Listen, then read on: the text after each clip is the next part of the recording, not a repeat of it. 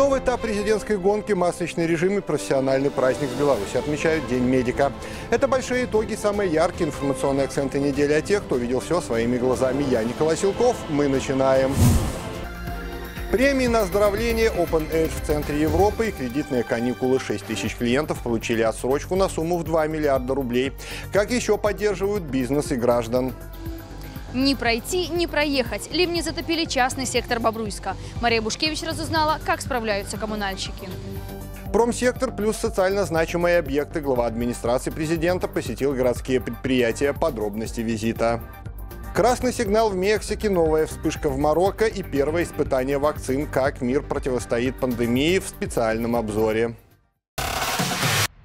В стране закончили принимать заявления желающих стать членом участковых комиссий. В последний день местные избиркомы дежурили до вечера. Документы можно было отправить по почте. Кандидатов выдвигали политические партии и другие общественные объединения, трудовые коллективы, группы людей.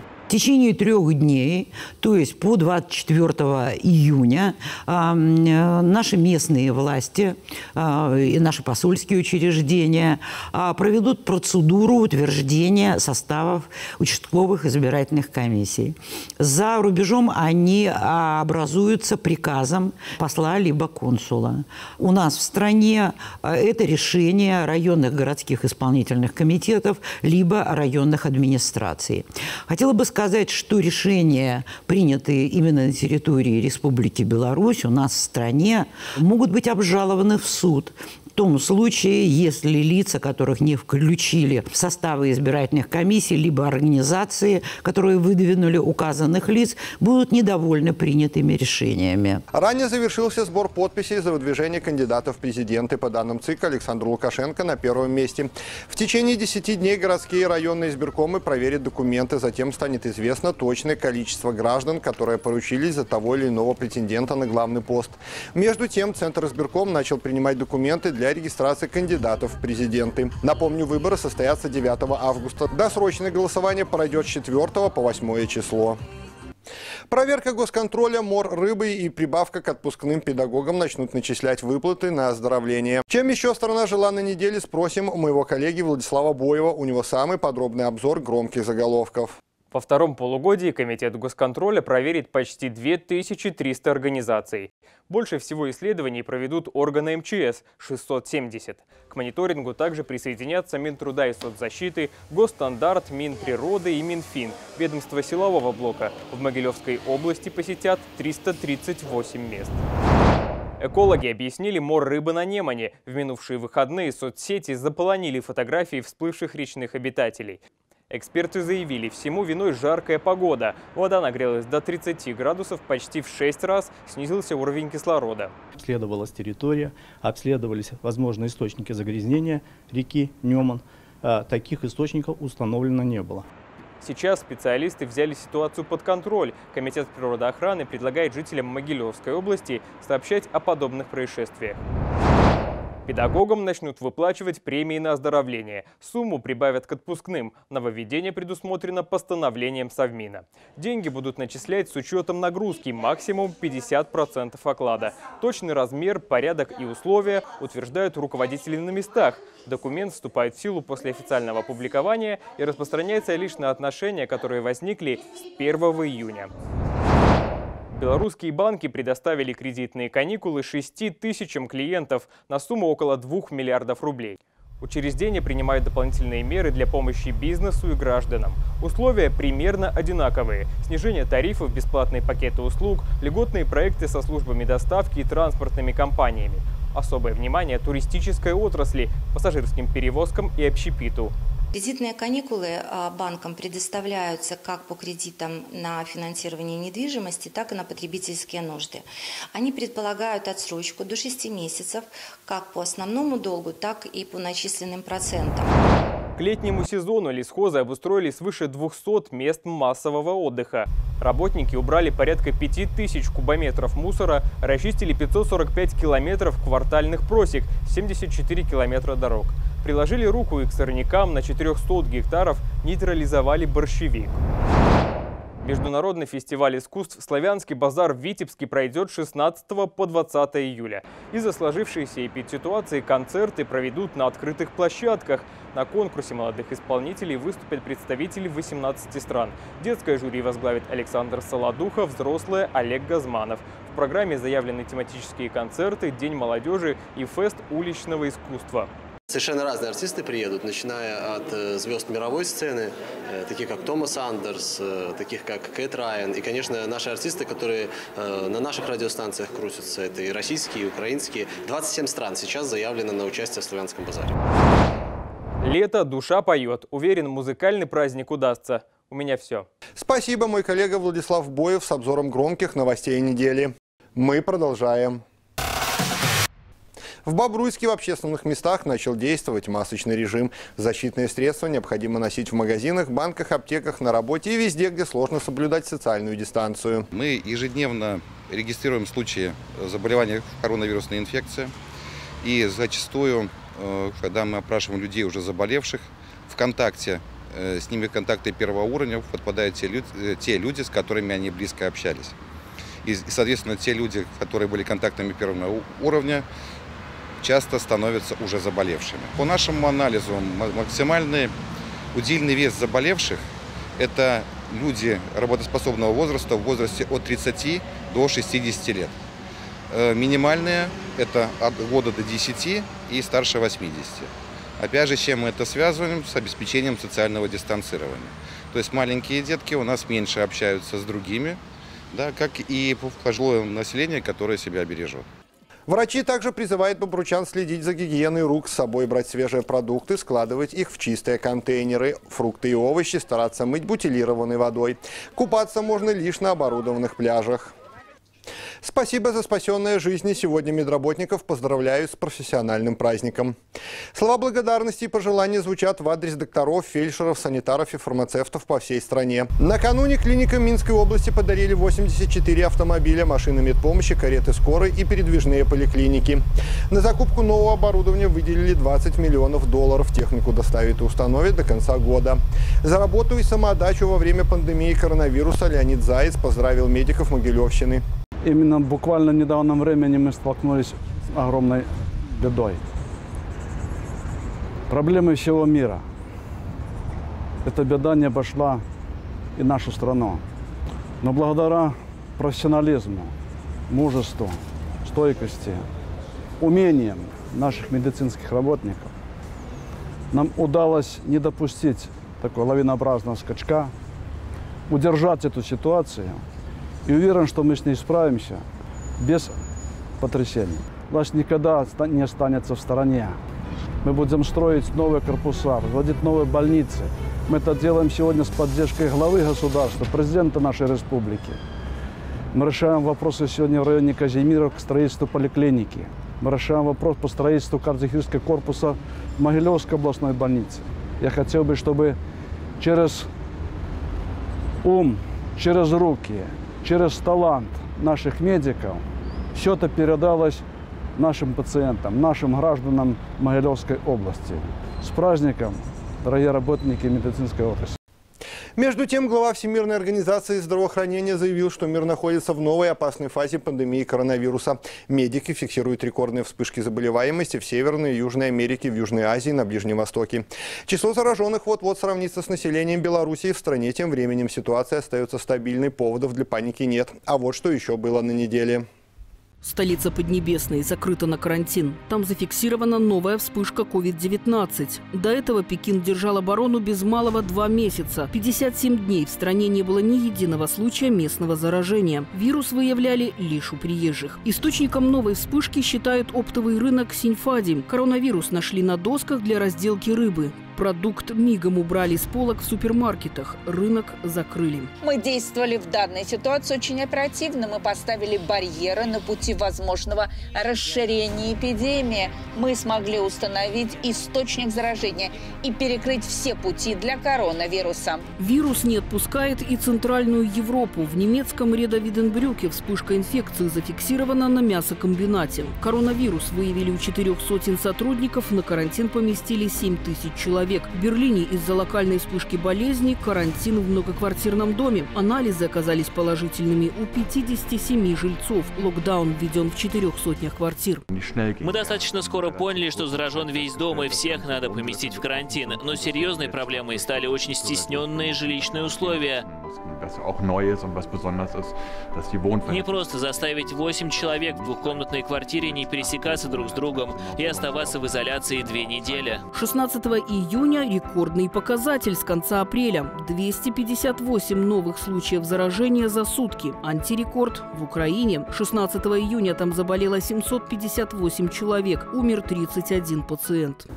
Це ми повинні користуватися масками, ми повинні дотримуватися соціальної дистанції, ми повинні користуватися антисептиками для того, щоб у нас не було таких жахливих цифр кожного разу. Пандемия ускоряется, заявляет ВОЗ. По данным организации, 19 июня в мире было выявлено 150 тысяч новых случаев. Это антирекорд с самого начала пандемии. Почти половина из всех в Северной и Южной Америке, а также в Южной Азии и на Ближнем Востоке. В мире уже более 8,5 миллионов инфицированных. Умерли более 450 тысяч человек. Выздоровели более 4,5 миллионов пациентов. Мир сейчас в новой опасной фазе. Многим людям, понятное дело, надоело сидеть по домам. Страны хотят открыть экономику. Однако вирус все еще быстро распространяется, он все еще смертельно опасен, большинство людей до сих пор уязвимы. По последним данным, в Беларуси выздоровели более 36 тысяч пациентов, у которых ранее был подтвержден диагноз COVID-19. Всего зафиксировано порядка 58 тысяч случаев заболевания. Пациенты с COVID-19 будут получать бесплатные лекарства. Новую форму общения с гражданами в период пандемии осваивают сенаторы. Это так называемые стримы. Видеотрансляция в режиме онлайн. Первым новинку испытал на себе зампред Совета Республики Анатолий Исаченко. Белорусы отправляли вопросы сенатору на личную страницу Фейсбука. Посмотрим, как у нас получается, как пойдет. Ну, наверное, будет эффект, будем дальше развиваться. Хотя, я думаю, здесь возможностей очень много для развития. Хотелось бы э, нормального, открытого диалога чтобы это действительно был диалог, потому что аудитория большая и хочется получить те вопросы, которые потом помогут в дальнейшей работе. Свои коррективы COVID-19 внес во вступительную кампанию этого года. Потоки абитуриентов будут разделены. Для сдачи русского, белорусского и математики выделили два дня вместо одного. В аудитории одновременно будет находиться не более 50 человек. Абитуриентов рассадят на расстоянии не менее метра друг от друга. В помещениях для сдачи будут стоять антисептики, аудитории будут регулярно проветриваться и дезинфицироваться. На ЦТ регистрировались онлайн, а количество площадок для сдачи в резервные дни увеличилось.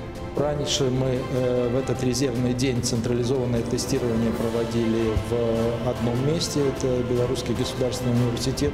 Теперь с учетом э, особенностей ситуации мы добавили еще пять мест централизованного тестирования в резервные дни в регионы. Врачей по всей стране, борющихся с коронавирусом, продолжают активно поддерживать. Представители белорусского бизнеса передали шестой столичной больнице 4 тысячи защитных комбинезонов, 45 тысяч специальных шапочек, около 18 тысяч нарукавников. Помимо спецзащиты, медработников порадовали корзинками со сладостями. Это знак, в том числе, поддержки э, медицинских работников в этот период борьбы с коронавирусной инфекцией. Безусловно, это знак поддержки всему коллективу, каждому сотруднику, начиная от э, санитарочки, заканчивая э, врачами, заведующими отделениями, кто работал и работает весь период этой эпидемии. Несмотря на пандемию, белорусских туристов ждут в Турции и Албании. На территорию последней соотечественники могут попасть уже сейчас. Чартеры в Турцию полетят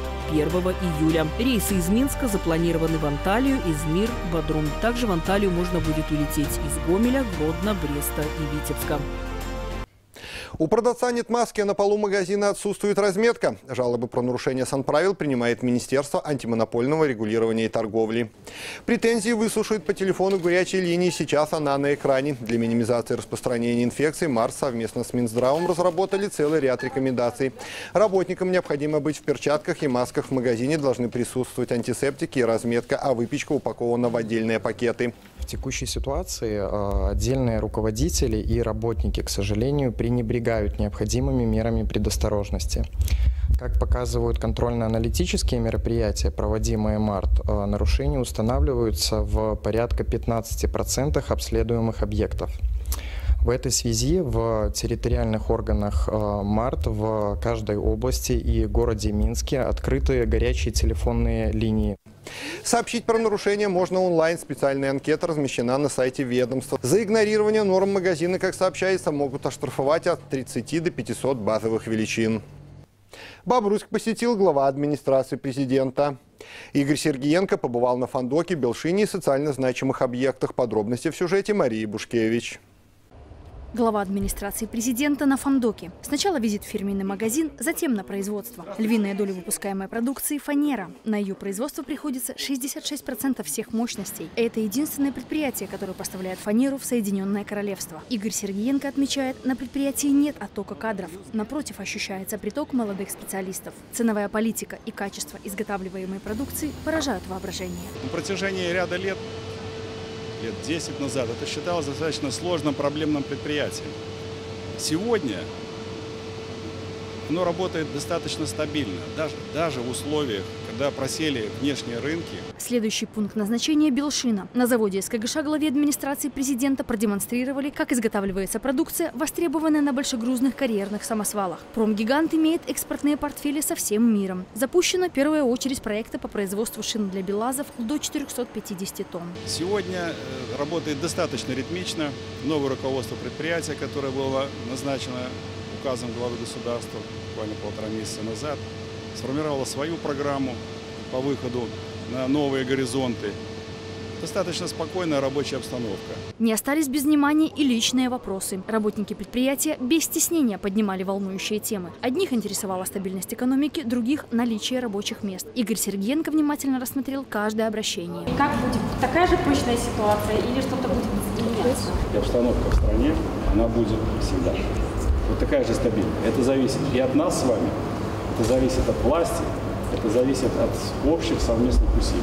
Помимо предприятий города, Игорь Сергеенко посетил 34-ю школу, Бобруйскую городскую детскую больницу. Ее строительство на финальной стадии. Выполняются ремонтные работы на самом высоком уровне. Там будет оказываться всевозможная помощь нашим маленьким пациентам. После поручения президента глава администрации изучил перспективу строительства новой школы в седьмом микрорайоне. Напомним, этот вопрос прозвучал еще в апреле во время посещения Александром Лукашенко в фабрике «Славянка». В целом я бы хотел отметить, что город и трудовые коллективы, несмотря на имеющиеся трудности, проблемы, живет полноценной, рабочей, спокойной жизнью. И да, людей волнуют многие житейские вопросы, на которые руководство города в состоянии дать ответы оказать посильную помощь, решить те или иные проблемы. Мария Бушкевич, Дмитрий Шевцов. Итоги недели. Мечта зовет. На Березне вновь можно прокатиться на теплоходе. Осадки улучшили ситуацию, уровень воды повысился изо дня в день, прибывает до 12 сантиметров. Аналогичную ситуацию метеорологи фиксируют по всей стране. Спад наблюдается лишь на Немане и Западном Буге. Температура в озерах и реках выросла до 17-25 градусов выше ноля. Дожди с продолжением. Всю неделю страну лихорадила непогода. В отдельных районах Беларуси прогремели ливни с градом. Шквалистый ветер валил деревья и рекламные щиты по всей стране. Нарушалось электроснабжение. Под воду накануне ушла столица, досталась и Бобруйску. Наш корреспондент разбиралась в сюрпризах непогоды. Вместо улицы река затопила дворы. Обильные осадки обернулись для некоторых бобруйчан настоящей драмой. Как итог, сырые подвалы, испорченный ремонт. Вся вода шла через огород сюда к нам. Она вообще здесь вода никогда не успевает уходить. Здесь получается низина, и вся вода идет с города к нам. Мы не знаем, что нам делать. Надежда Гавриленко купила с мужем дом на Репино всего полгода назад. Обустроили быт, оборудовали площадку для троих детей. Идиллия была недолгой. Стихия подпортила планы. Придется снова раскошелиться, уверяет хозяйка. Я не инженер. Я не знаю, как это проблематично, как это сложно. Но послушайте, ну 20 лет, 30 лет существует проблема. Но здесь же тоже живут люди. На стене этого дома можно увидеть последствия потопа. Уровень воды достигал здесь более 30 сантиметров. Городские службы признаются, проблема есть. И решить ее можно.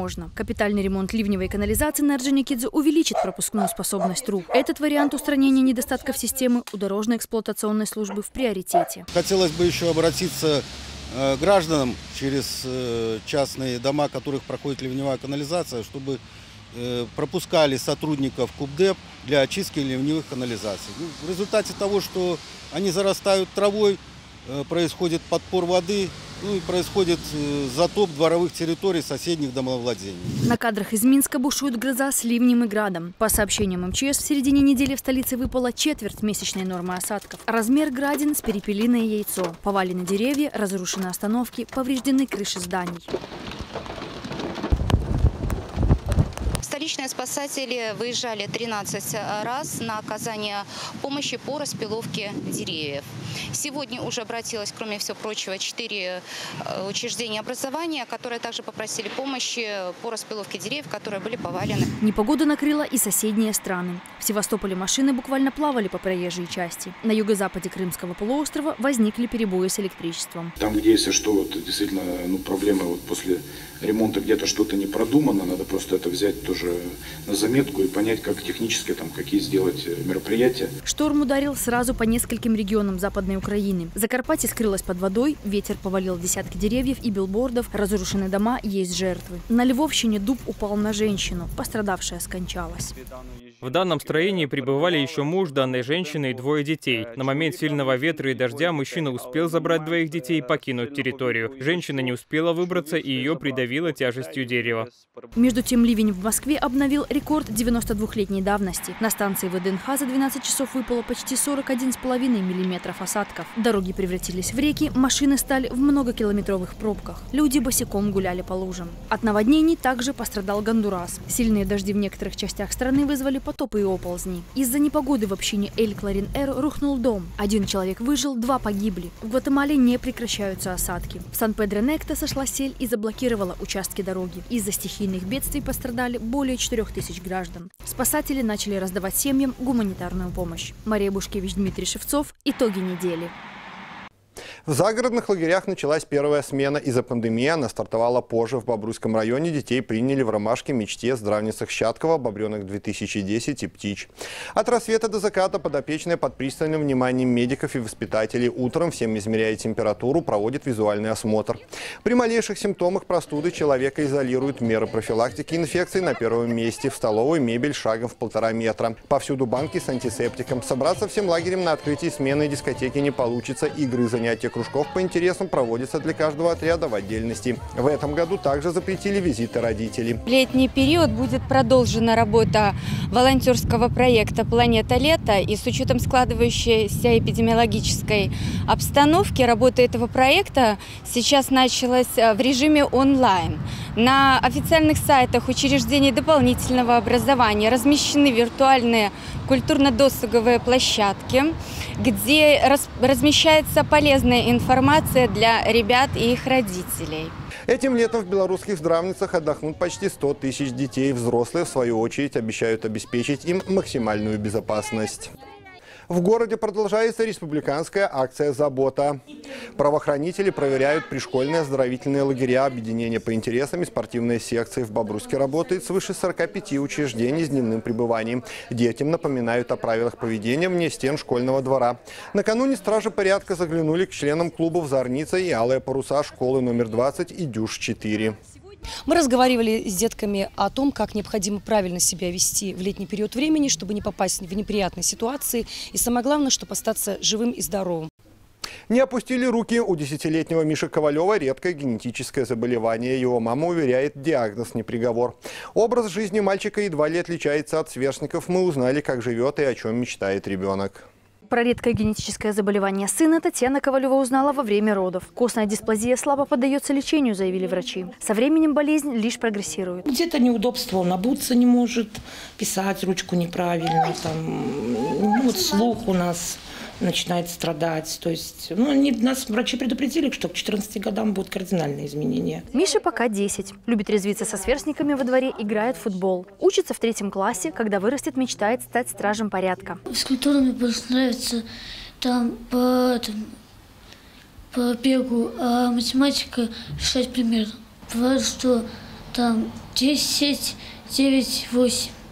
И двойки бывают. Подобрать одежду для парня сложно, признается мама. Размер нестандартный, приходится укорачивать. За швейной машинкой Татьяна Ковалева может сидеть сутками. Для меня он и по сегодняшний день обыкновенный, как все. Потому что когда даже где-то на улице ситуация, когда люди смотрят пристально, да, уж понимаете, ну, как бы, знаете, хочется сказать, ну, что ты, ну, это ж не картина Репина. В семье сразу 8 детей. Старшей дочери 27, младшей 2 годика. Часто собираются вместе, мастерят поделки. Многодетная мама уверяет, справляется со всеми на раз-два. Хотела одного, а вот получилось, что 8. Вот. Не, не мечтала даже. Не, я сама с большой семьей, у мамы пятеро нас.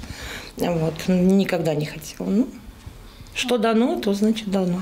В сентябре сразу четверо станут первоклассниками. Татьяна уже ходит по магазинам, приценивается. Отмечает, в этом году сможет позволить потратить больше. Социальную пенсию для родителей, воспитывающих детей-инвалидов, увеличили. Соответствующий указ подписал президент. Увеличен размер социальных пенсий для родителей, которые воспитывали детей-инвалидов э, с третьей и четвертой степенью утраты здоровья и которым впоследствии была установлена первая группа инвалидности. Ранее размер э, для таких категорий граждан, размер пенсии составлял 123 рубля, это на сегодняшний день.